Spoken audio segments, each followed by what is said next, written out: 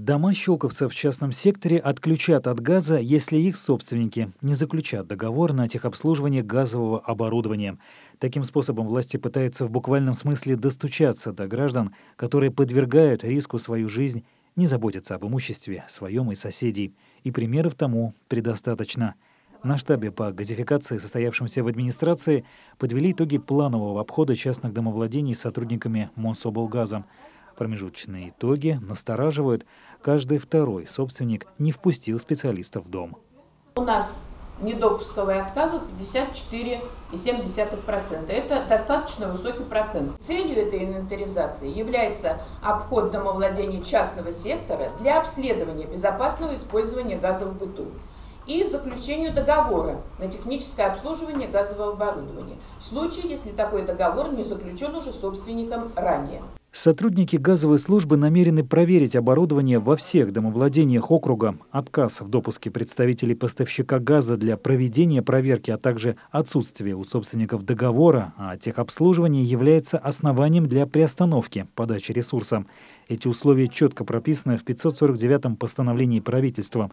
Но, по-видимому, этот документ владельцы газифицированной недвижимости не читали. Все случаи отказа от заключения договора ТО администрация фиксирует. Щелково, Загорянский, 1002, отказ от заключения, Медвежьи озера, Монина, Фрянова. За неделю обращение в Мособлгаз об отключении тех домов, где отсутствуют договора и где люди отказываются от заключения договоров.